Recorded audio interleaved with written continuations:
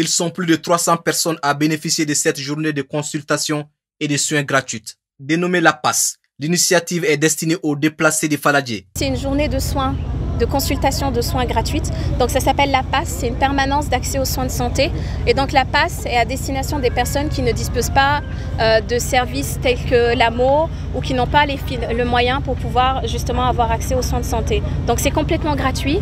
Ils voient plusieurs spécialistes. Aujourd'hui par exemple on a pu avoir un dermatologue, un gynécologue, un pédiatre, un traumatologue même pour les personnes un peu âgées qui ont des problèmes d'articulation. Et puis on a trois généralistes. Cette activité a été entièrement financée par la Fondation Maliba qui évolue depuis plus de 30 ans dans l'humanitaire. Aujourd'hui, c'est une consultation gratuite, entièrement financée par la Fondation Maliba, présidée par le président, son président, Ali Bouakar Diallo, le président d'honneur de l'ADP Maliba. Et vous n'êtes pas sans savoir que la Fondation Maliba comme je l'ai dit à l'entame de mes propos, intervient au Mali dans le cadre humanitaire depuis plus de 30 ans.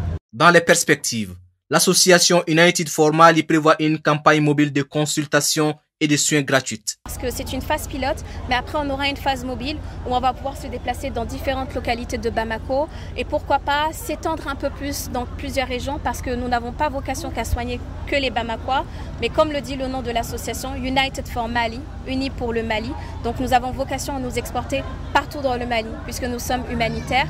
Au-delà des consultations et des soins, les patients bénéficient des kits d'hygiène appelés kits de dignité